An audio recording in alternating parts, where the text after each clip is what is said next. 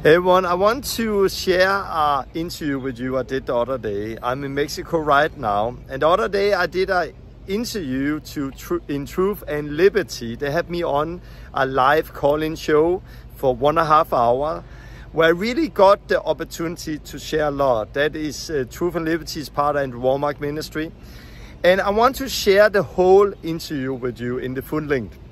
It was one and a half hour where the first half hour I was sharing and then there was people who could call in and we could talk about many things. I think this uh, interview is very important. I did not only talk about my experience with jail and FBI and Homeland Security, but I talked about that and I talked about new things you have not heard about before when it comes to my case.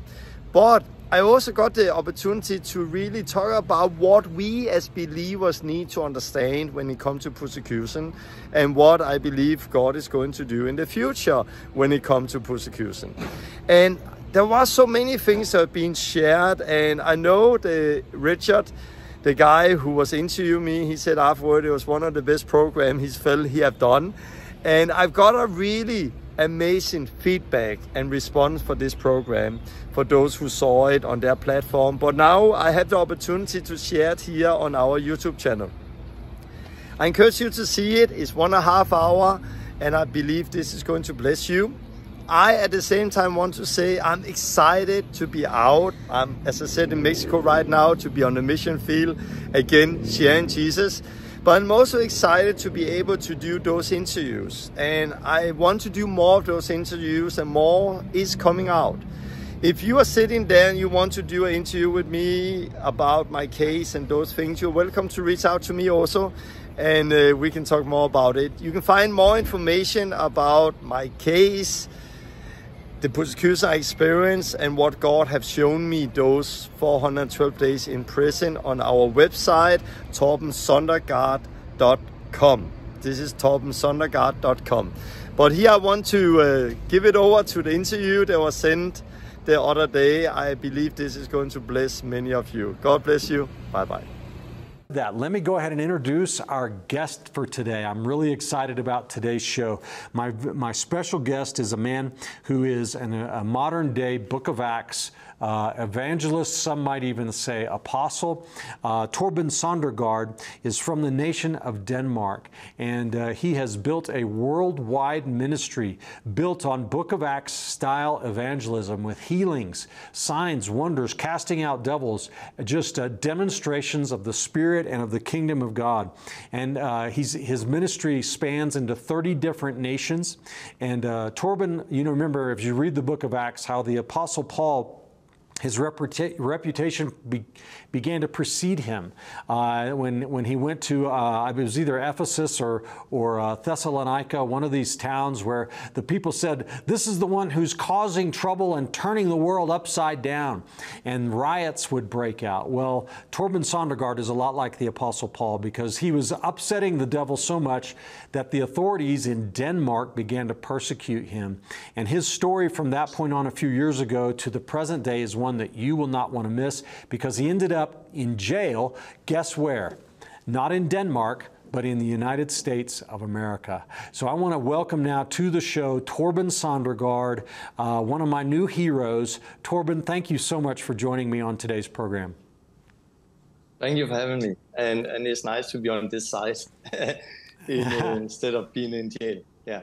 Yeah, absolutely. Well, Torben, um, we we had your attorney on our show last, mm. I, I, think it was April or May, and uh, some of our viewers might remember that episode. She did a fantastic job, but you were in jail at the time in the United States, in Florida, and could not come on the show.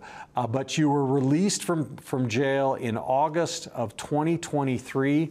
And so I just want to bring you, I wanted to bring you on the program today to tell your story again uh, from your own mouth and also uh, to possibly so that our viewers could understand you know a lot of things number one what's happening in the in the area of religious freedom and also how they can be a part of what you're doing and how they can stand up uh, for freedom uh, for others. But be, before we go there, let me just give some background on you a little bit. You started a ministry called the Last Reformation. Can you tell us about your ministry a little bit? yeah, we uh, we need discipleship, and and uh, we need to equip people to really be workers in the harvest. Jesus said, "Come and follow me, and I will make you fish of men." And he walked with them, and he discipled them, and he showed them how to live the life. And and in the book of Acts, we see the Holy Spirit just came, and and they continued the work of Christ, and and what we have seen is it's not enough we just talk about it or dream about it or read about it. We we really need to do it. And this is mm. some of the mm. things we have been training and equipping thousands uh, thousands of people all over the world to to do it, where we take them by the hand and say, "Come, now we go out on the street, we find our personal peace, or we go to a household and we preach the gospel and cast out demons, heal the sick, baptize people in the bathtub, and and set up fellowships. And and and when people have first done it one time, they know they can do it, and then they continues. And and and because of that, because of the practical application, it has really grown all over the world and, and people are running with it now and, and it's really beautiful. So so it's to equip people to live as disciples and, and help churches and, and set up new fellowships. So it's beautiful. Well, Torben, most people when they hear about um, you know evangelists and so on doing book of acts work and ministry they don't typically think of western europe right? Uh, many you know western europe is in a desperate condition spiritually. Uh, there are relatively speaking there, there aren't very many spirit-filled christians. Um, but god raised you up and the work that you were doing caused, as the book of Acts says, no small stir. Can you tell us what happened to you in Denmark and, and what led up to you uh, coming to the United States a few years ago? We in, in uh, 2019 had a training school in, in Denmark, and we had students for 30 nations at the time, uh, all the time coming and getting trained. And and then suddenly prosecution really start to to come in a way we haven't seen before. So in in January of 2019, I was on national TV like almost every day for three weeks. But together with that, we we saw they start to talk about changing the laws and and wanted to do what we call a mental violence law where how do you define mental violence? If, if you physically hit somebody, you know you have done something. And, and in all of that discussion, that's, they start to talk about that mental violence could be cast out demons in front of people. Mental violence could be like doing the ministry Jesus called us to. And they start to come after our kids and, and, and the government, and many things happen. And, and I actually ended up leave in Denmark and come to America. To be honest, it was not to seek asylum in the beginning. It was to just come away. And, and, and I hope somehow when I was out of the country, it would just fall down and they would somehow forget me. But a few months later, they passed a law in Denmark that did that if we do the work of, of discipleship, cast out demons, the way I've been doing it, it can actually you can go to jail for, for mental mm. violence. And, and I want to say before I continue, you know, the world are changing. And, and I think, I know of other ministries and other people who have had problems with government and so on, but it was because they did something wrong. And there's no blessing in being persecuted for doing wrong. And I thought I was safe because I was not doing like them. And, and I think many people have that mindset well, I'm not doing like that person, that person, that person, so I am safe. But God, the, la- the next year, and the next few years, start to show me that uh, in the time we are entering into, if we want to obey Christ, none of us is safe. And, and I want to say that there's still freedom in Denmark and every other place to believe everything the Bible is saying. But when we start to obey, what is saying, then is where the problem happened. Like Paul, why did Paul and Silas go to jail in Ephesus, uh, Book of Acts 16? It was not because they believe in casting out demons. It was because they cast out demons. Mm-hmm. And, and the same way today. Um, but we end up coming to America and, and we applied for asylum. uh, like everyone else, and and well, and then we. Yeah. Let me interrupt you. Um, I'm I'm sorry, but I just want to make sure everyone understands. So you had a ministry center in Denmark that had been yeah. operating for some time. People coming in, getting trained on how to win the lost and and to minister in the power of the Holy Spirit.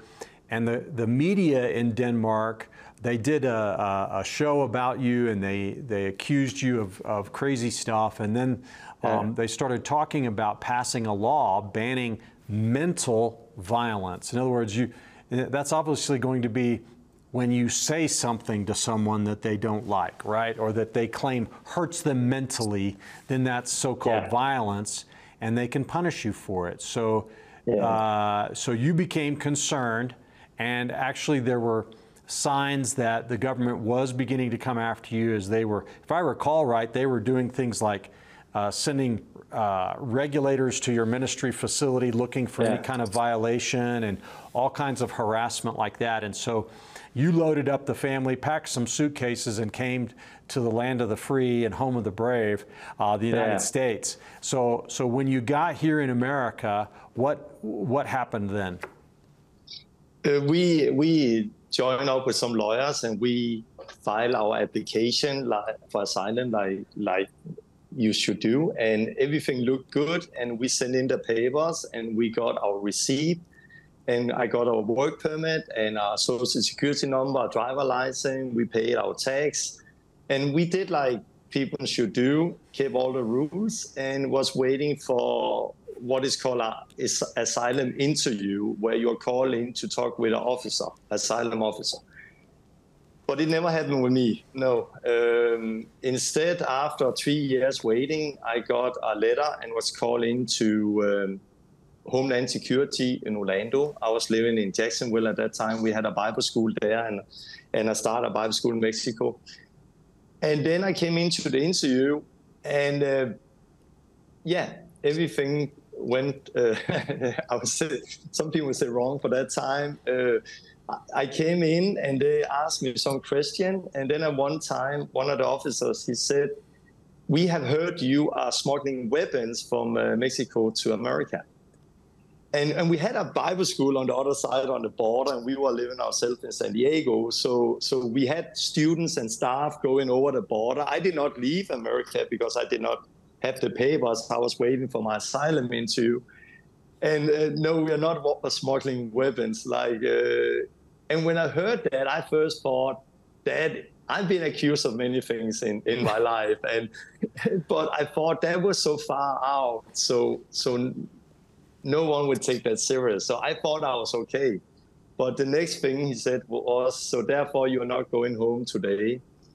And then it was up the wall, handcuffs up, on, put in isolate, uh, put in a holding cell. And then they came and put chains around my, my hands and my hip and my feet and took the lease, shoe lease off my feet. And as a hardcore criminal, I was taken to one night to Orange County Jail in Orlando. The next day, I was taken up to Baker County Detention Center near Jacksonville. And um, I actually ended up more than a year in that terrible place. And um, and it had been some journey, I want to say. And, and I think. Um, Torben, can you? Uh, yeah. We have a picture on our screen now. Was this your cell in Baker County? Can you I, see I don't see a picture now. Oh, no, you can't. I don't see. But but if you see a picture, my, my cell was a bunk bed uh, on one side. There, yeah, I see it. Yeah, home sweet home. Uh, it was a picture I found on the internet, and it's exactly that cell uh, style, um, exactly yeah. like that. One bed on one side, a shower with cold and hot, and then a toilet and a mirror and and and I spent in that one. This is the dorm I was in. I was in room uh, in up uh, upstairs, uh, door number three. So I spent a little more than I was first 10 days in isolation, and then I was one month uh, in another room with hardcore criminal, uh, murders, people who have been murdered, uh, killed people, and yeah, been in jail for 10, 20 years. And then I, I got to another dorm you saw the picture of. And in that cell there, I spent uh, more than a year. So all in all, 412 days. 412 so days. And, and during this time, you were never charged with a crime. Is that right? No, and it's so weird, everything, because I, I came in and we, of course, expected me to come out on a bond uh, because I have done nothing wrong. And I, I, there was different things you needed to do to come out on a bond. But when I finally, after long time, came in front of a judge after two months, the judge says, "It's not my table. And he told me back to ICE, uh, immigration. And why, like, why?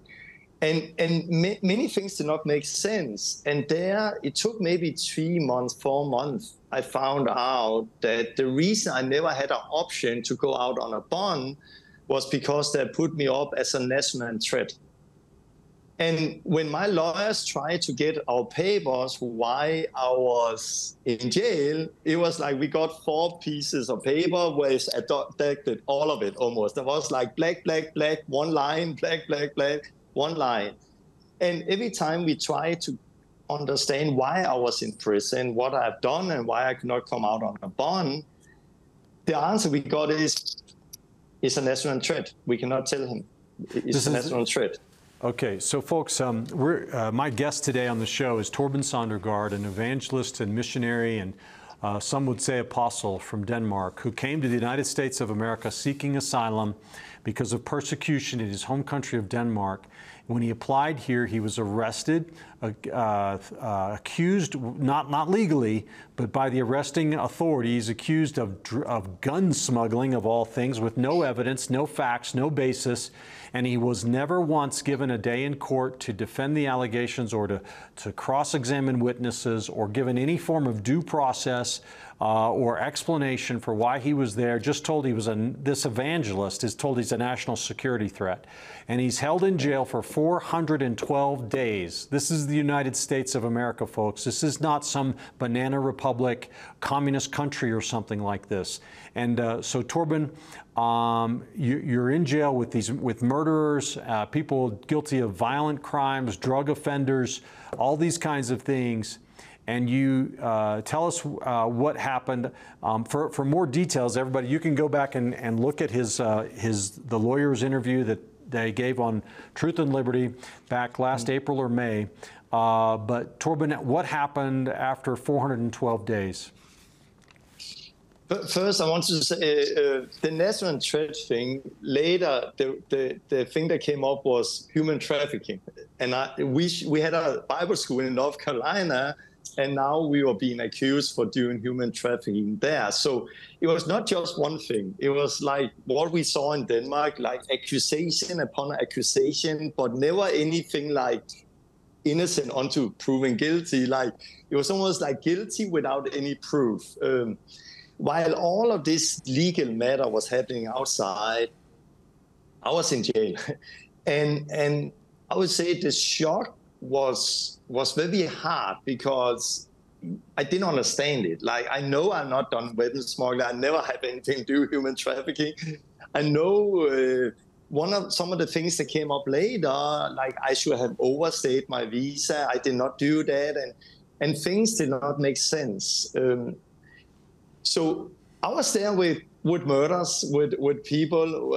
At one time, I, I shared a, a, cell with four people where one guy he had murdered. Uh, uh, he's uh, a homeless guy. Another guy under me in the bed under me. He had put a knife in the back on his boss, and and people have tattoos all over the body, and and, and was a different, you know. I, I became a Christian when I was 18. I I haven't fought or drink or anything, girls or anything like that, since I became a Christian, got married. So it was a very different environment. And there were some tough guys, and, and it was hard. And I want to say, I experienced a lot of persecution, but after one and a half months, I was really a bad place. Uh, I was depressed. I would say that I was really, really depressed. I did not understand it. It was just hard with that orange jumpsuit and the food through the hole in the door and the issues and the shouting and the yelling. And there is a picture of, of me. Um, yeah, and it was it was just the shock was there, and I studied the word, and, and of course, I knew what the Bible was saying. And Jesus in Matthew 10 said, When they arrest you, and so on. And I read Book of the Heavenly Man and Brother Yonah and China and studied mm-hmm. revival. But I want to say it's one thing to read about it, it, is something else to actually live it. Mm-hmm. But then God came. Uh, I got a strong dream from God, from somebody from outside who sent me a dream, and God started to speak to me, and I started to fast. And I, I started 10 days just water, but then I became sick because of the water is not good. And I continued just eating a little, little every day, and I actually continued for many days just eating a little. I end up 65 days like that. And I started to train my body, lost uh, 40 pounds, uh, train my body, get focus back again where it belonged, the Word of God, study. And I actually saw revival in Jay. It was like God came at one time. It was like people start to get born again, set free. I baptized in a short period of time six people in my dorm. There, like myself, it was like water, cup of water over the head, hands on them, got the Holy Spirit set free. Amen, amen. And then in and took a shower. That was the only thing option we had. But and then we started Bible study. So in that dorm, you saw a room or a picture of before. I don't know if we can get it in where you see all the, the cells. In that dorm, out of 25 inmates or 28 inmates, mates, we had 22 in Bible study every day. And oh because we, we started in the main room you see in the middle, but then persecution came because there was a few people who did not want it. But then we started to do what we really call cell church, cell groups. We, I had a few disciples I have led to God. I trained in the mornings, and then in the afternoon, they did it in Spanish in the different cells. So I was walking around in the dorm every afternoon and looking into the cells and asked, "Are you good?" And and 22 people was doing Bible studies, and oh, life got changed. And and and before I got released, I have so many stories. A man came to my cell and was crying and said, "Tom, you cannot leave us. You cannot leave us. You have changed my life. You have changed everyone's life here. We can You cannot leave us." And he was crying and one time I have a Muslim Muslim guy come into my, my cell and he looked at me and said, Tom, uh, I, I see a glory over your face. Like, what is that? And then he looked at me. Yeah, I know it. You have been with God. And then the day after, he came into my cell again and said, Tom, why are you so happy? Like, you should not be happy. You're the one who have been here longest now in, in this dorm I was in. And then he looked at my bed. Ah, it's because you read the Holy word of God. Mm. And then Muslim ended up getting my Bible and start to read that. Like I saw God move. Wow. But it did not start there. It, it started with, with a depression, to be honest, because there was things I needed to learn. And, and in all of it now, I see that God spoke to me that persecution right now is the few, but soon it will be the many but it will end up becoming everyone who confess Jesus as Lord. And, and it's not something that will go away. The only way to get it to go away is by, by us starting to compromise our faith. Mm. No, we should not be fearful, but we should be prepared to be ready for it and know how to stand in it. And I wrote two books uh, in jail. Um, I actually have one of the, the books here on a piece of paper with coffee all over, and I wrote it on a security pin like this. I used 30 of those. Uh, I cannot, you cannot kill anyone with this pin. Like if you try, just yeah. Pin. So, so, right. so that was how I wrote two books and saw revival, wow. and, and God did amazing things at the same time. And, and it's, it's for sure the best Bible school I don't want to do again but but it, was it was good, and I'm, I'm happy today. I did not come out in the beginning because then I would have come out full of depression and fear and anxiety. But instead, I came out after one year with faith and hope, and and say, guys, it's time to wake up because persecution coming to America.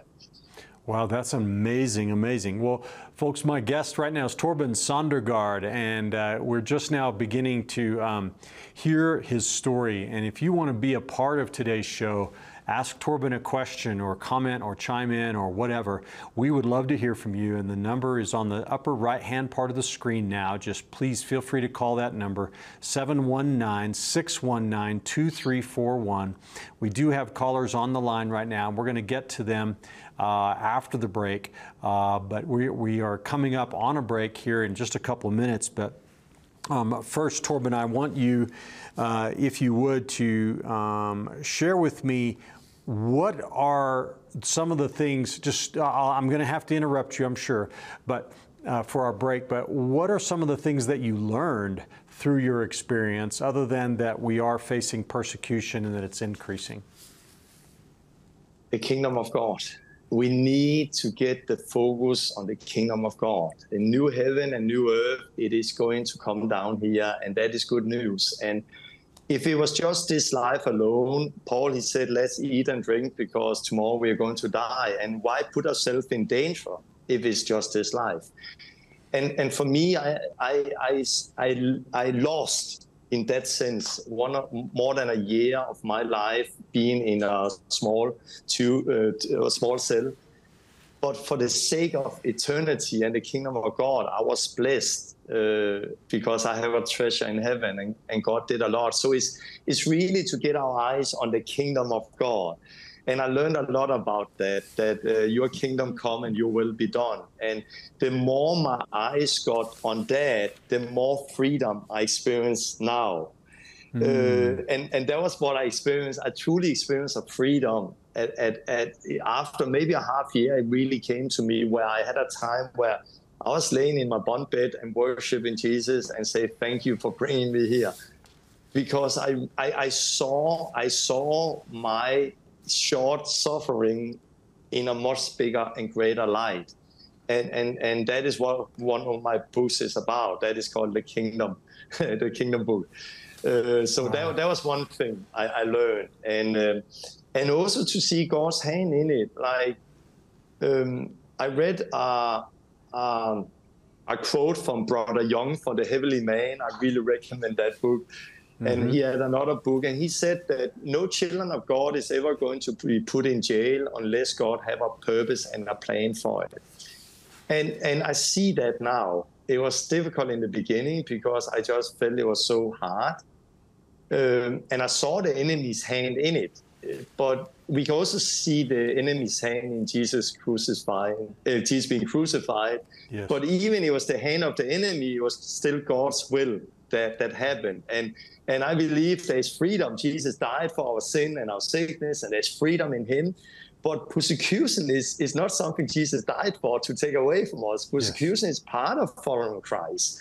And, and, and we need to divide those things and, and understand what persecution is and suffering is. And, and I think in the Western world, especially, we are not prepared for that. Uh, I know I was okay. not prepared for that. No, yeah. I, I totally agree with you, but let's stop for just a second and we're going to take our first break of the program.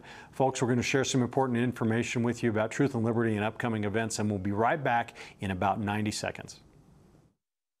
Hey, you know, a big part of what we do here at Truth and Liberty is to provide you with the resources that you need in order to stand for truth in the public square. So I want to remind everybody to go to our website and check out our resources page at truthandliberty.net slash resources, where you can find material that discusses just about every issue we're facing today in our culture. And these are things that are prepared by our strategic partners and some of the uh, most influential and important organizations in America today. Andrew has many conferences and seminars around the globe each year. For the latest information on Andrew's complete speaking schedule, visit our website at awmi.net/events.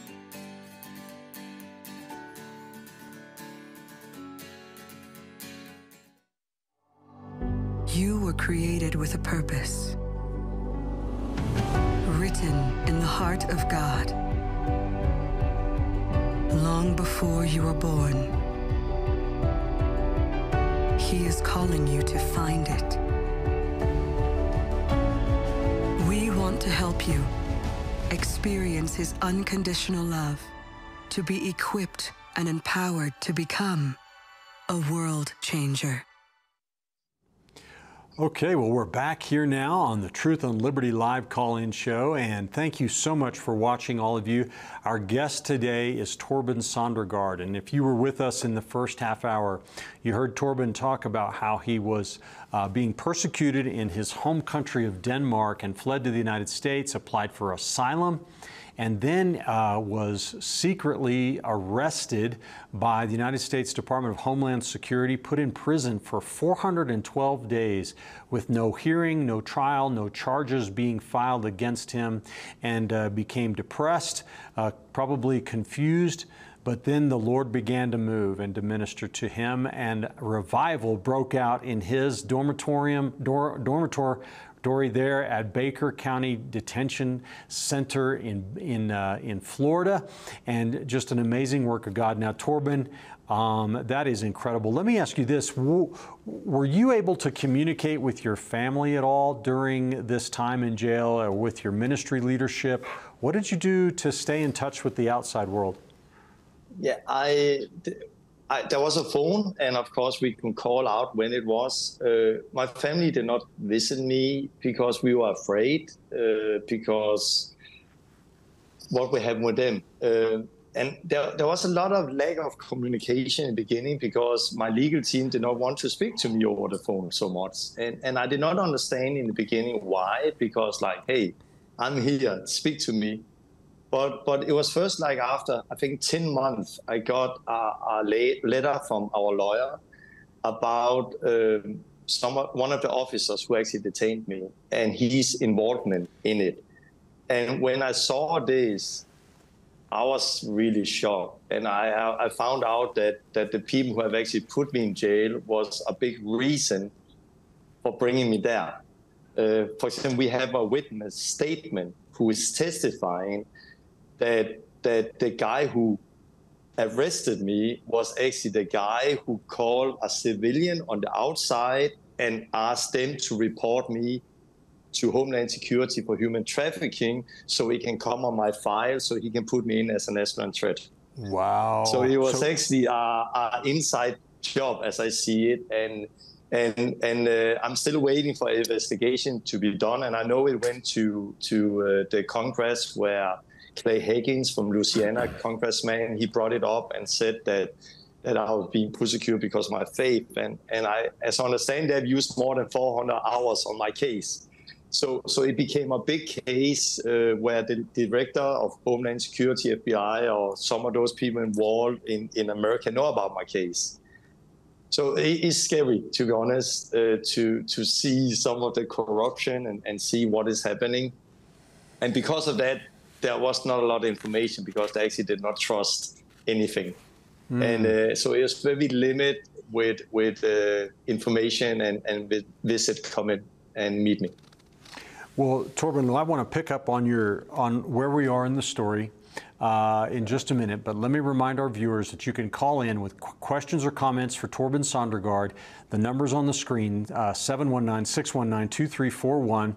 And uh, I want to go now to our first caller, and it's Allison from Alabama, Truth and Liberty partner. Allison, thank you so much for your partnership with Truth and Liberty. What is your question for Torben Sondergaard today? Well, thank you, Torben, for your faithfulness. But um, this is a different subject. Do you know that King Arthur is barring, is banning people from white people from their baking contest?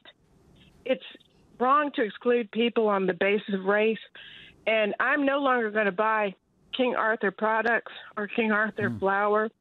And um, I think this racism needs to be opposed. And well, I'm I'm not going to disagree with you. I don't know what that is, though. King Arthur, is that a brand of baking material? Oh, King Arthur makes flour, bread flour, ah. all kinds of flour, and okay. it's a big contest. It's if you go to the King Arthur website, you can see they're having this big contest, um, and with a big prize and apprenticeship, mentoring, and and it says people of color only. Okay. But, but, but if you look at the world today, it, there's just so many things that is upside down. Like uh, the borders in America, there's a lot of discussion about that with the millions of people who are walking illegal over the border and, and, and what is happening. At the same time, I'm filling out my papers and I'm sitting in jail. And, and, and most of those people I was with in jail, um, I would say 80% of those people I was with was from Latin America, and they got deported and they're back in America after after a few months. There was actually people in my jail who got deported out, and then three months later, they were back in the same jail and said, well, well, hey, you were here a few months ago. What are you here? Oh, I got back to, to America and to Mexico, and then I walk over the border again, and now they arrest me and then send back. And, and then they would continue doing the same. So, so there's a lot of things that seems unfair, and, and I think this is the time we're living in. Uh, truth become lies, and good become evil, and and and uh, is how it is. But we need to stand up as a church, for sure. Right. Well, Allison, thank you for your call. Uh, appreciate you voicing that concern, and uh, we stand with you in prayer about that situation. Uh, Torben, you um, you were saying that the Lord, you believe, showed you that persecution, increased persecution, is coming to the United States. Um, tell us about that. How did the Lord reveal that to you, and what have you seen? It, it started back in Denmark because I was I was shocked that what I experienced in Denmark could happen. I have always been proud of being Danish and had a Danish passport, and I've been traveling 45 nations. And and if people have said to me a few months before, uh, Torben, one day you will need to flee your country for persecution, I would have said no, not in Denmark, not me. Uh, maybe other people who do crazy things, but not me. I'm a nice guy and I serve Jesus. And but it happened. And when I was in the airport in the Netherlands flying to America back in 2019, I was in shock that it, it happened. And I was like, God, how can this happen? And there came strong to me. Tom, I've sent you to America to prepare my people for what is coming because my people are not ready for it. And then in America, I've been doing ministry and preaching and preparing people for persecution and then we had the whole thing with, with COVID. Then we had the election, and and and I saw the same spirit that was working in Europe, the antichrist spirit that is working on fear, fear, fear, and fear. It was the same spirit we saw under Hitler in Germany with Goebbels, his propaganda chief, how he used the media to get the Norman German to kill or give the neighbors over to be killed uh, fear, fear, and fear. And, and it was the same spirit I saw working in America. And I've been preaching, pre- be prepared. It's heavy in America, but I almost felt like, sorry to say it, but people in America was a little like, it's still America, land of the home, eller free, uh, land of the free, home of the brave. Uh, but then with COVID and election, I saw more people start to wake up and then it's like got I got in jail, where now it's not just a, a message; it's really I became a statement. I became it came up to the Congress in America, where they said this is happening in America. I, a legal Danish immigrant came, seek asylum, kept everything, and now he's in jail. Uh, so my message have maybe just be stronger uh, that it is happening and it's coming not only to America, but all over the world. Um, the problem with uh, not the problem with America, but who's going to save Europe this time? You know, mm. under Hitler and Second World War, we had the French and the English people coming in, and then America came and helped, and the Russian on the other side. But but who's coming, going to come and help this time if America is falling? So I really believe it's time for America to wake up. It's really time to take our faith serious and, and understand that persecution is coming. It's not going to go away, but we can grow in it. We can learn through it. We can see revival through it if we understand how it works. So, so this is yeah some of my message. So, uh, if I understood you earlier, you said that you uh, you have evidence that an officer with the um, uh, American security, so that'd be Homeland Security, actually contacted someone on the outside and encourage that person to assert false claims against you for human trafficking and arms smuggling. Mm-hmm. And what my question, Torben, is what motivation would that uh, Homeland Security officer have? I mean, what could it be except anti Christian bigotry? I, I have a paper here with a, a, lot of things, witness statement and things we have found out where we have uh, we uh, want answers. what is happening? And, and, I hope we will get some answers soon, and there'll be some investigation that will happen there. What, how we understand with him is, to be honest, I, as I understand, is that he's a Christian. Mm. He is uh, somehow a believer who got convinced that I am an antichrist guy who probably I don't know so much about his faith, but I believe in speaking tongues. I believe in healing the sick. I believe in the work of the Holy Spirit, like we read in the Bible. And if you're a cessationist and don't believe in that, and that is for today, it's so easy to be put in a box as a false prophet that just needs to be destroyed. So, so this guy, as we understand, was communicating, and that is the scary thing, with the people who was behind the persecution in Denmark.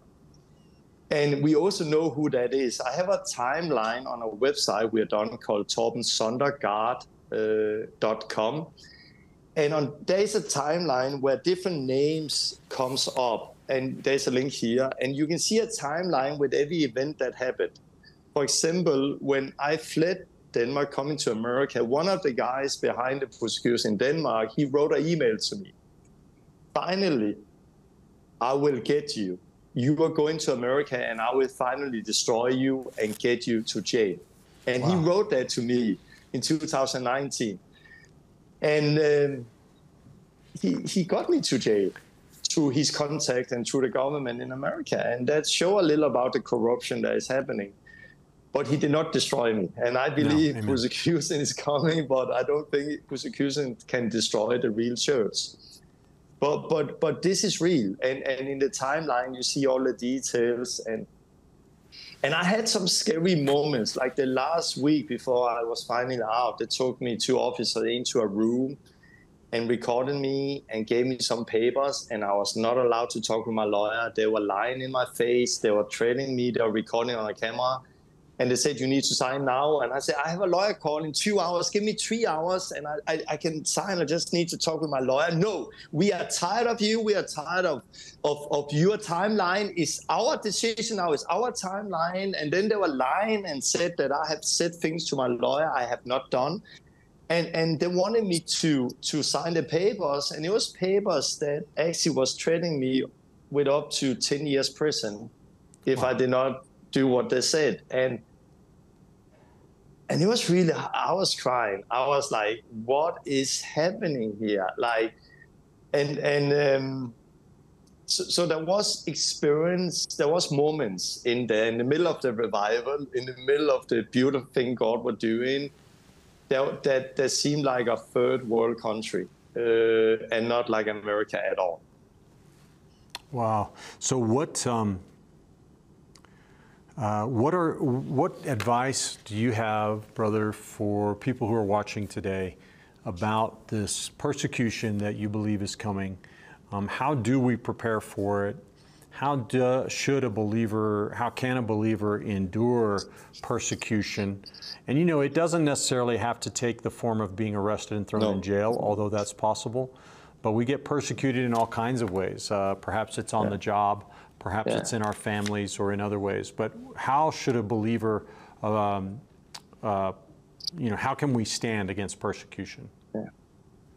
Uh, uh, if I go back to the beginning, uh, I was 10 days in isolation in the beginning when I came into Baker County, and and with a cell with without anything, like no phone, no Bibles, nothing to write on and it was it was really truly hard. I've never been in a place like that in my life, and and I was sitting down and like okay the Bible and, and try to memorize and remember what I have read, but but my mind was just plain all over. But after three days, somebody brought me a little old King James Bible I have here, little mm-hmm. black one, and and I'm not good at reading English, especially not King James. But when I got that Bible, I was like, mm, kissing it, hugging it, and, mm. and I just started to read the Bible.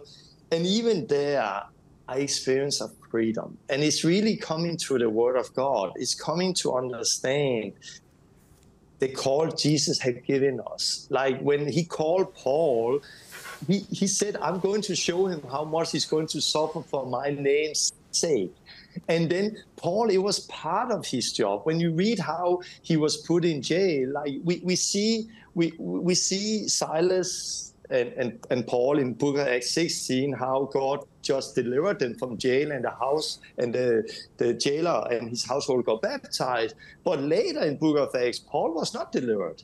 He went two years in house arrest. Why?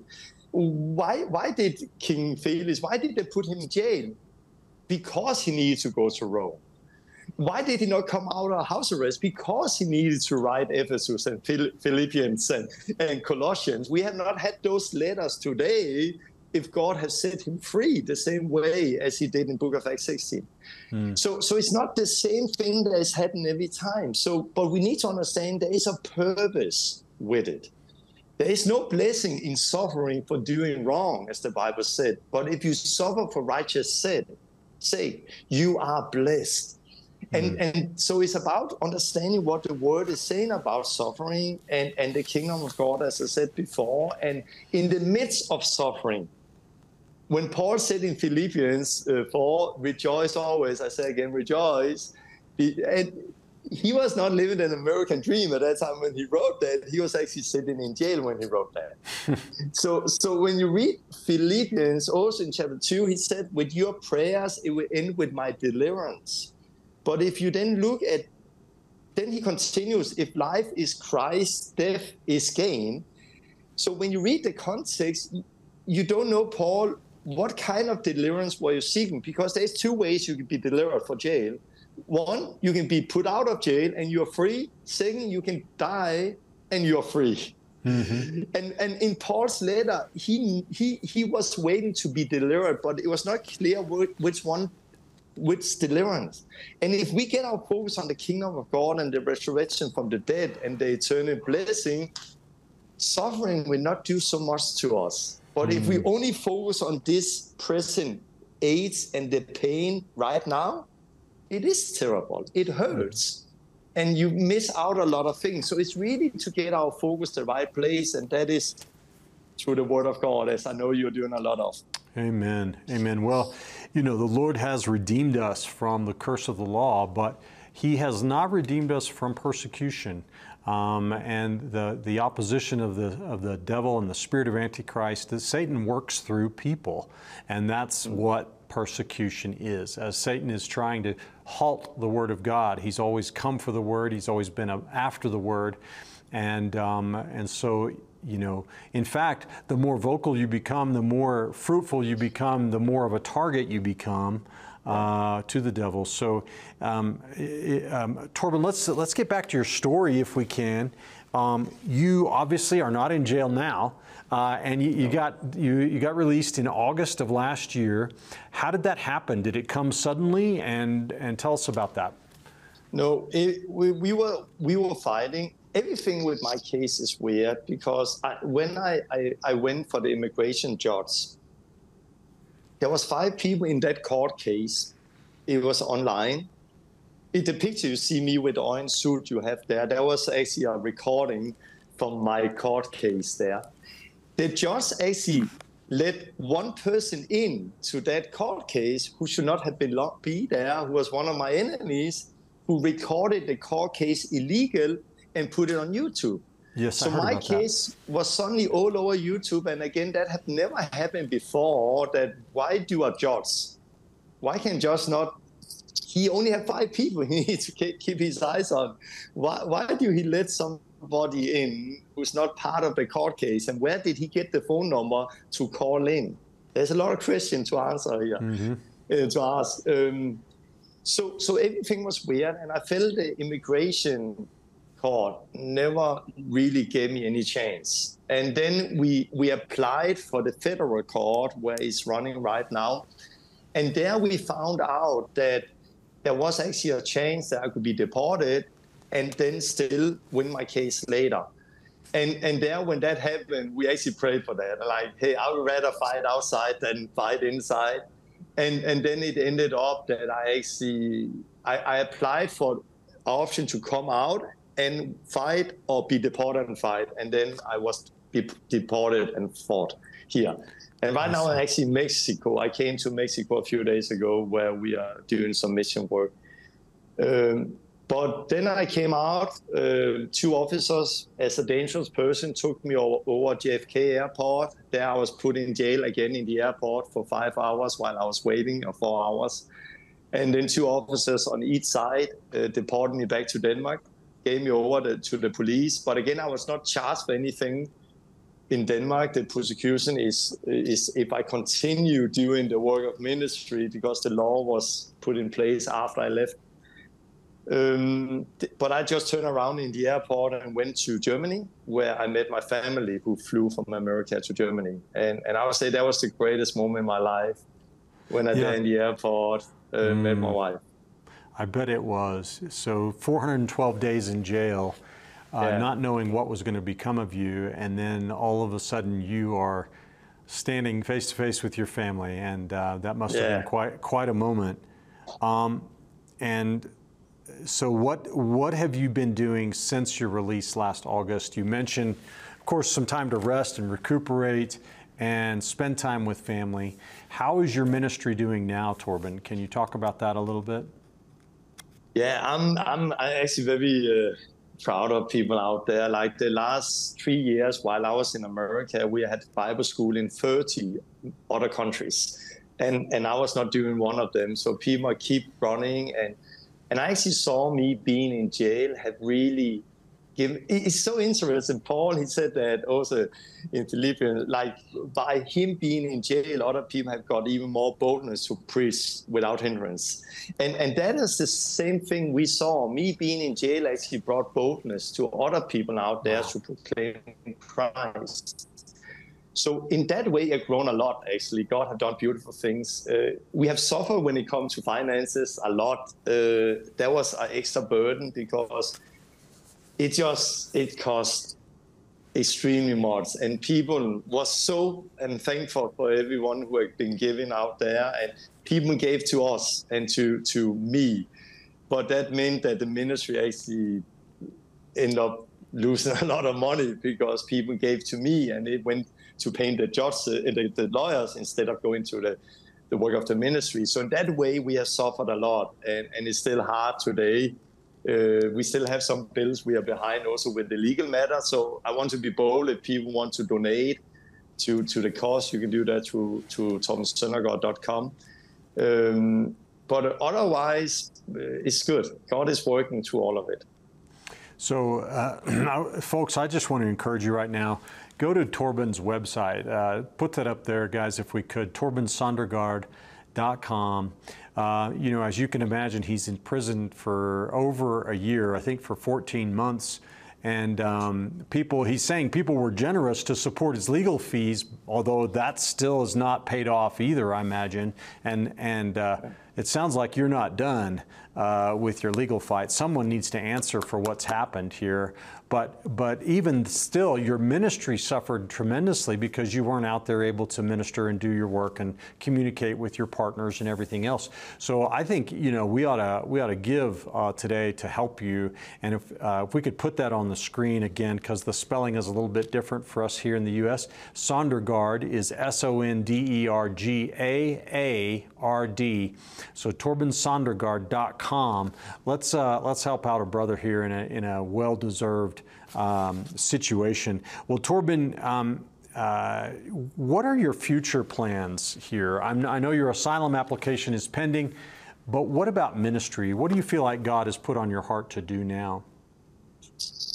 I still, just before I got detained, I, I, got in contact with a pastor, a good friend in, in California, and, and I was supposed to help him in his church and really work with the churches in America. I, I got a big heart for the churches, and I believe still I will come back and do that one day. Okay. But until then, God have called us to Latin America, and and we actually just came to Mexico a few days ago, and then we'll be here and work here for a month, and then go South America and Central America, and really work on the Latin uh, American countries. Uh, and and this is next season. uh, but there, there's something special with America for me. I, I really see the church in America. You know, the whole world look at America and look at the churches and what is happening, and and I, I believe God wants to do something beautiful there. Mm. So uh, so I'm in Mexico, and I'm excited for this new season here. Until that day, hopefully will, uh, the truth will come out here and I'll get my papers. But my my stuff is in a container. In we live out of uh, four suitcases. Uh, we've done that a half year now. So so it's it's still a little hard to. It's it's okay. We have done. I, I said I came to America with eight suitcases seeking asylum. I was thrown out with four. So it, it, it, go down the hill, and I don't have a car, I don't have a house to sell, I don't have anything. I came out with two thousand dollars on my bank account. So so I'm really even we have a big ministry. I'm really living in faith again, and and and out here, and of course I, I want to see my my home in a container in, in California. But until then, it's just nice to be on the harvest field again, out amongst people. We just had a cafe, pray for people who met God, and and uh, out eating here an hour ago, and it's just beautiful to be out again. Torben, have you learned a lot about the subject of religious persecution uh, through this experience, not just on a personal level like you were sharing, but um, is it a growing problem in the world, not just in the U.S. or Europe, but worldwide? Is it a growing problem?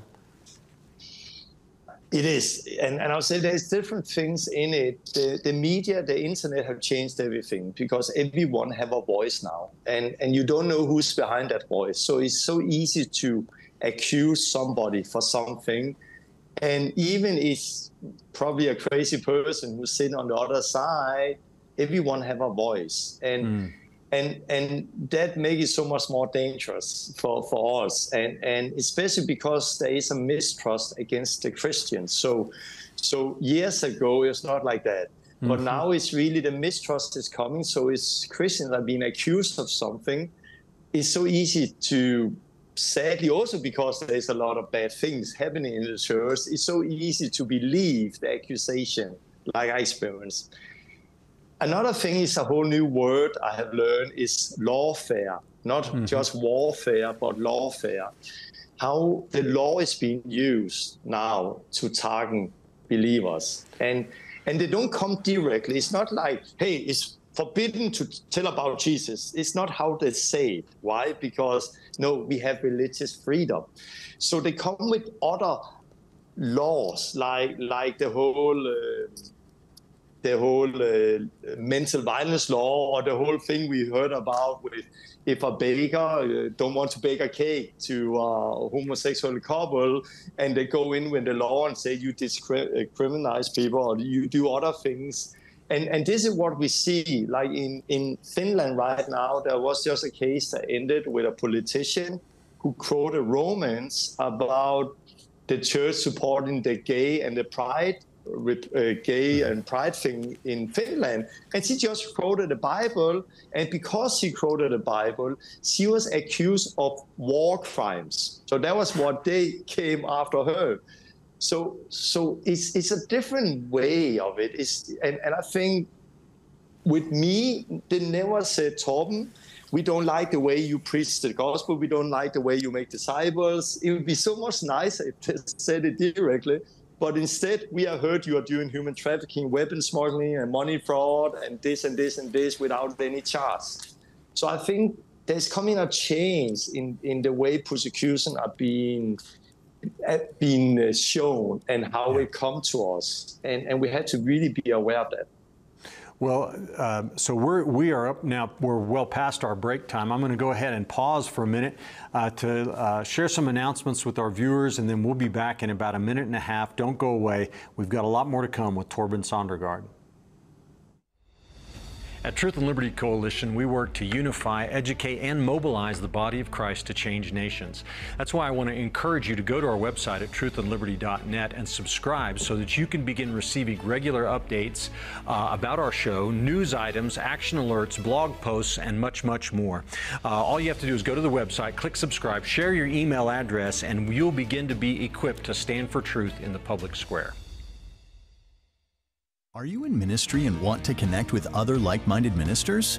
Andrew Wommack founded the Association of Related Ministries International, or ARMY, to serve, equip, and empower you for success in your ministry through relationships, community, and resources. But just being a part of this, uh, being filled with the Word of God and with Army, and fellowshipping, knowing that I have other ministers with me, it is awesome. We have met such precious people through Army. Uh, there's people I know I can call when I'm in a jam. Ministers have a safe place to come. We can unify and unite for the kingdom. As an Army member, some of the benefits you'll enjoy are Bible teaching correspondence courses, regional advocates for personal support and ministry, regional events for networking, one on one ministry and encouragement, our monthly newsletter, and more. You don't have to do ministry alone. Join this growing network of dynamic and elite ministers from across the U.S. and around the world today. Okay, folks, we're here on the Truth and Liberty live call in show, and the call in number is 619 2341, and that's area code 719. Uh, if you'd like to talk to Torben Søndergaard, uh, please call in the number, share your thoughts, comments, questions today. Um, we've been covering so far in the program Torben's journey in an American jail and in a, a, a sort of falling off the radar in sort of no man's land as he was being persecuted because of his all indicators are it was because he's a Christian. There was no legal basis for it. He was falsely accused. And what an incredible work God has done in his heart and in the lives of so many people where he was detained.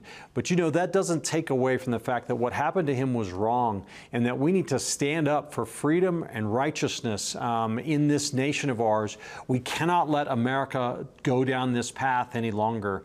And uh, Torben, I want you to comment on that further. Uh, but, but before we do, I want to take another call. We've got a call in now from uh, Eloy, who's from the state of Texas. Uh, Eloy, thank you for calling. And what's your question today, sir? Uh, yes, uh, praise the Lord. Good afternoon. Uh, thank you for the opportunity, and um, I just want to say a big hugs and uh, from many many people here in the United States and the state of Texas to Torben. Uh, God has done some great things through His ministry in our lives, and we're very very grateful for the things that we're we are seeing. And uh, I just wanted to um, ask Torben to maybe he would give voice a little bit to how Christians should act in an environment where the government uh, and the and, and the powers that, that be are persecuting actively people, and and that is in terms of the fruit of God. How do we keep our hearts pure? Do, you know, because a lot of times people confuse uh, Christianity with taking up arms against and rebellion and all that. So I just thought give him an opportunity to maybe speak to that. And it's wonderful to see you free, my brother. God's grace be with you. Nice, thank you. Yeah, I would say Jesus' words in Matthew, really, I've been speaking about that many times be wise as servant and innocent as dove. And but I, I have a different understanding of it now. Uh, if we start with innocent as dove, um, FBI, as I understood it, took my phone and and uh, it, it, disappeared at one time after I got detained. It was not in my, my property list, and and I was thinking when I heard that, like, whoa! I know they had my PIN code because the one who arrested me saw it when I put it in, and I was thinking, is there anything in my life on the phone that cannot handle to see that they are flying, light? And I, I stopped up and I thought, no, I don't. I have nothing. And I'm so thankful for that. But it's only because I years ago experienced the fear of God in my life and really cleaned up my life. So I want to say, be innocent. You have to clean up your life. You have to live a holy life. Mm. You have to live in a life that people can take your browser, your phone to go to every page, and you don't live a hidden light in any area because what is done in the hidden will be uh, shouted for the rooftop. Second, be innocent as dove, or white as uh, snake, sorry, white as servants. We had to be aware, not be fearful, but be aware. And there we also need to be aware of what fight are we called to go and take. And, and I just see the kingdom of God is very different. Like Jesus was not he was creating a riot, but he was not politically active in that sense of doing it. It was the gospel, the gospel, the gospel, the gospel. I don't say you cannot be politically active at all, but it should not be instead of the gospel. The gospel yeah. is what set people free. And sometimes we are so focused on changing the world in our own strength, in our own power, where we lose the most important weapon we had. That is the word mm. of God, and that is the truth, and that is the gospel. When that is said, I believe there is people who are called to do different place, um, place of ministry and are sitting in government and other. And I think people need to do their call. But I, we are not going to change this world by laws. Mm. We are going to change, change this world by the gospel that's going to change the hearts of people.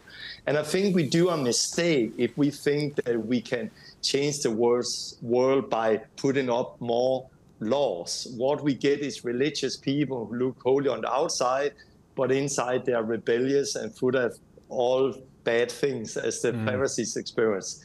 So I'm a simple guy. I believe in Jesus' word, innocent, wise, preaching the gospel, making disciples, and then pray before we go into things to know is this truly what God have called us to, or are we just following the stream?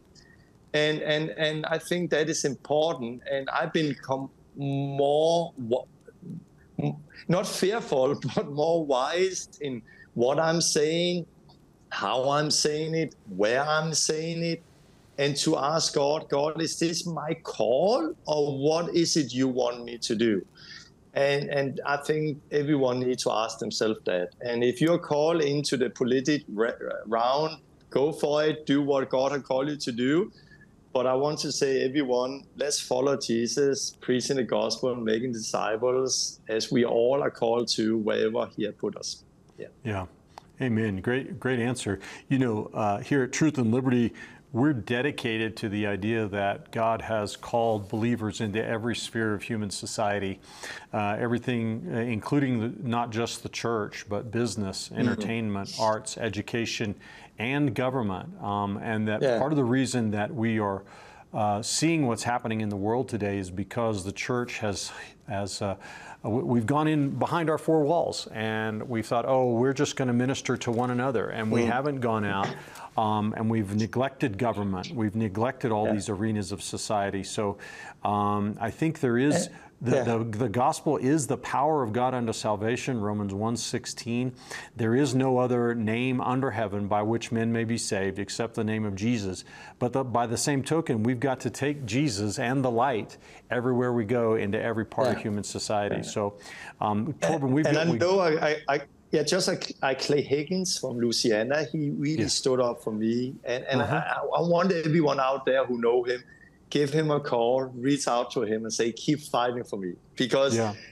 I almost feel sometimes now I'm out that I'm forgotten. Yes. but but the case is still running, uh, and there's still a lot of things that need to happen. So so so I'm, I'm thankful for a guy like him. I'm thankful for those people in position who God what was brought there. But for every one of us, we need to ask why have God put us here, and, and what weapons do we fight with in our position? But but it is beautiful, and uh, yeah. Okay, well, let's go to another caller. Uh, Mary from Florida is on the line, has been holding. Uh, so, Mary, thank you for calling in and for your patience. What is your question for Torben today? Okay, well, Torben, I just wanted to say that I feel bad this happened to you in Florida. I was praying for you, and I also was emailing DeSantis but got no answer. But anyway, my question is will you be able to return to the United States, or do you want to now that this has happened? Yeah, about being returned, I, I signed a paper before I was deported. I need to that the next 10 years, everything I do had to go through Homeland Security. And uh, with everything that was happening there, I am I have a file that say I'm a national threat. It's still in my files, and and that is the thing I need to clean up my file because it's it's very difficult to do anything when you are a national threat, accused of uh, weapons smuggling, human trafficking, economic fraud, and a long list. So, so that fight is still ongoing, and my case is ongoing. I cannot do anything else right now than wait for my asylum case to come and wait for Clay Higgins and the government uh, to step in and, and do our investigation of the officer who detained me and what is going on. And I hope this program can help in that sense. Um, coming back to America, um, to be honest, I felt a little like Paul was was was in I, I think it's Acts thirteen or where it was in uh, Lystra. He was stoned, and then as soon as he was stoned, uh, they stood around him and prayed, and then he stood up and went back to the city again to preach. I was like, who who who gets stoned and then stand up and go back to the same city they got stoned in? To be honest, I feel a little like that. Uh, I, I, don't feel safe in America uh, as I did before all of this. Um, but I know God have called me to America. I know there is a work that still needs to be done. And and one thing my wife always said is that the safest place to be is where God wants you to be. Yes. Uh, so so it, now it's Latin America. If it's America, I will go because He said go and and that is the same thing we all need to do be in his will that is the safest place to be praise the lord thank you mary for calling in appreciate your question uh, next let's go to gladys uh, from georgia uh, yeah, gladys you're uh, my notes show you that you're an Andrew Wommack Ministries and Truth and Liberty partner. Thank you so much for your support. We do truly appreciate it. What's your question today? Oh, thank you, Brother Harris, for taking my call. How are you? I'm blessed, thank you. Hello, Brother Tobin. How are you? I'm good, thank you. Okay, wow. Thank you so much, Brother Tobin, for fighting the good fight of faith. Uh, this when I see the smile on your face, it reminds me of James chapter one verses two to four. You know, it means you are you don't have any grudges or any uh, animosity towards the people who did yeah. this to you. That is really good to see you smiling after what you have been through. Thank you, Lord. So my question is, well, I had actually spoken to your lawyer when she was on the show last time, and I was going to ask her this question: Why was your interview not in California, where you had applied for asylum? Why did they call you to Florida? Uh, I, I, was in Florida first, and I was applying in Florida, and then I actually moved to California to to do a a mission school there, and and because of that, the the, case was still uh, being investigated in Florida because I just moved, and and that was why. So uh, so they called me back. We could have moved our case to California maybe, and and I could end up in prison there instead. Uh, I don't know if that would have been better. Uh, but that was the reason uh, that I was in Florida going to California, and then this happened. And and about the, what you said about smile on my face, you know, um, one strong experience I had in jail was was in isolation. I was reading Roman, uh, Genesis, I think it's 30 around there with with with uh, Joseph in, in Egypt when Potiphar's wife wanted to seduce him and and and she lied and she was like Joseph run away. He fled from sexual sin as we should do. And she stood there and said, this man, this Hebrew guy you brought in, my, he has tried to rape me. And, and it's all lies. And we know the story, uh, probably all of us, uh, many of most people know the story about how God used that to get him to jail. And then from there, he ended up at uh, Pharaoh. When I read that in jail, I had a moment where I read it and then it was like when I read it, what she was lying accusing him for, it was like a righteousness came over me, and I just felt like wrong. This is wrong. Like this is evil. And, and it was like in a second, I almost forgot the rest of the story. And I felt like, God, this is evil. Why? Why did you allow this? And then I turned the next page and it was like, ah, hmm. now I know why you allowed it. because she was the tool God used to get Joseph to jail to meet the servant and the baker to come in front of Pharaoh to fulfill the call God had given. The reason we often have problem with understanding things is because we live one pace at a time. When I experienced the false accusation, I was living in that moment and it hurt and it was unrighteous and it was unfair when people lie and do evil things. But when we, God, He didn't live one pace at a time. He know the story, the beginning from the end. And when we understand that, it just gives us freedom. Why should I be bitter of those people who throw me in pit? Why should Joseph be bitter on his brothers who throw him in the pit? Because it was not just Joseph brother who threw him in the pit. It was God who used Joseph brother to throw him in the pit. They threw him in the pit to destroy his dream, to destroy his call, but God, that was their attention. But God used them to actually fulfill his dream and fulfill his call. Hmm. So, so I think for all of us, we need to learn right away, even in the small things, to always forgive, to never get better, to always rejoice, even in small things. Because when we are faithful in the small things, we can be faithful in the greater things. So I needed to learn that, but no, I'm not bitter because I'm being blessed in the kingdom because of what God He's doing. And and I know that everything worked for good for those who according to His name is called. And I know that God have a plan with it. And I experienced that in jail, and I experienced that now and and in the future. So no bitterness amongst believers. We should forgive and we should rejoice always in the Lord. Yeah. Amen. Amen. Torben, what um, what can people do uh, to stand up for religious freedom? Just the average Christian out there, or pastors and that sort of thing. Uh, how can they make a difference? Um, you know, you, the, the Lord called you to come Yeah. to America to warn them, warn us about what's coming.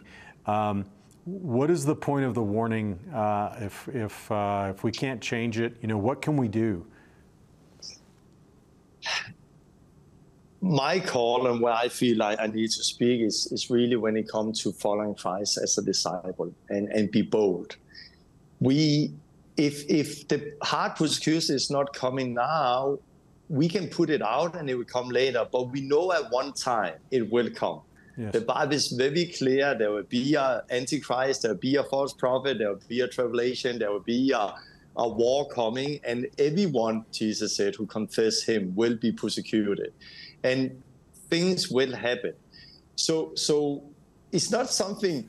When we talk about the return of our Lord Jesus, the focus is not the focus antichrist and the false prophet. The focus is our Lord is coming back. Come on, Amen. Amen. we should rejoice over that. So I would say what we can do is seek our Lord, see Jesus, and make disciples where we are. This is how we change the world, one person at a time. That we really understand what the gospel is, and, and we, in everyday life, are faithful in the small things. And some people are put in special position and have a special task there. But now I'm talking to most of us. Be faithful in the small things. Be faithful with reaching your neighbors. Be faithful in following Christ and making disciples on your workplace. I think this is the thing we can do because it's so easy to to see that the world is so big and we don't know where to start. Uh, but we start in the small things with what God had put us in. And then he see that we are faithful in those things, and then he can give us a special assignment. And then we need to go and do what he have called us to do as obedient chil- children, and that will look different from person to person. Uh, So, yeah. so how? Let's talk about winning the loss as we close out the show. Torben, this is what you're gifted at. It's what you're called to do, and you've trained so many people about this. But the the folks that are watching today, I'd like for you to just take a few minutes and um, teach or encourage or exhort them on how easy it is to actually share the gospel and uh, make a difference in other people's lives around them. Yeah, uh, and I'll do that. And if you want more on tlrmovie.com, I'll just say that we have three movies out there for free where we share more about it. tlrmovie.com, there's er a link there. Yeah. I would say it's the fewest of us who ever stand on a platform in Africa and speak to 10,000 people. That is a part of evangelizing, but there's only a few people who do that. All of us can be like a Ananias in the Bible who found Paul, who was seeking God. And right now, there's people like Paul or Saul out there who are seeking God. They have had an experience with God, but they don't know what to do with the experience. And they need somebody who can go to them and say, hey, can we sit down and talk? And I believe the best person to preach the gospel is you who are seeing this. Mm-hmm. And the best way to do it is over a coffee table mm. in their house or in your house on a cafe to really understand what is the gospel and then one person at a time and, and maybe get our eyes away from the big platform ministries and come back to the simple thing like Acts 10, Peter, he got a vision. The Holy Spirit led him to the house of Cornelius, and the, the whole household got saved. Acts 16, Paul, he made Lydia, and the whole household got saved, or the jailer. And, and it's different things every time. But what you very often see is that you sit down with a person, not a big campaign. That is okay, and we need that. But it's really one to one discipleship where you preach the gospel, and that is repentance from sin God. toward God. They need to know what sin is so they can repent toward God, baptize into the Son Jesus Christ, and then receiving the Holy Spirit. And then you start, they start on the narrow road, born again as disciples, and you take them by your hand and show them how to do the same you did with them. And then we start to see multiplication where suddenly we don't have churchgoers who sit in church frustrated because, like, I also want to be used and waiting for a platform, but we have disciples who everyday life on workplace, in Walmart, in cafes, in homes, make disciples, preaching the gospel and seeing people born again. And this is what our movies on TLR movies is, is all about. And we have a lot of equipment and tools for you to use out there. All right. Well, everybody be sure to check out that website at tlrmovie.com. And also wanted to remind everybody before our show ends here today about Torben's website, torbensondergaard.com, where you can go and learn more about what's going on in his ministry and uh, support him uh, with prayer and hopefully uh, financial gifts. Um, and uh, so, Torben, I, I, heard just this morning, I think it was, or maybe yesterday, that uh, only 2% of American Christians have ever shared their faith with another person. Uh, does that sound like it's probably true to you? And why are we like that? What has happened to us in America that we no longer tell people about Jesus? You know, you when, when you, you come, five minutes. but when you come from Europe uh, to America, it's it's like Candyland in the beginning. You're just like, whoa, street church of every street corner, and everyone have a faith in Christ. It seems like, and then you peel under the layers, and you find out that inside is very different. The problem in America is there is a very strong culture, and that culture is is have come in instead of the real disciple life, the real obedience. It's not so much what we believe only, it's what we do. Show me your faith. How do we live the life? And and and I saw that in America. I, I was surprised. I thought, whoa, they're all Christian, all love Jesus. The, mm. Many lift their hands and and worship Him, but their life don't testify of uh, obedience, disciple life.